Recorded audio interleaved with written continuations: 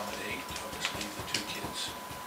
Well, they were due to come at nine, so I can't imagine they'd be earlier than nine, but, Sorry, that's a minute, about nine, and then you just put them in the stud runs, because I'll be gone by ten. do you mean the spa runs?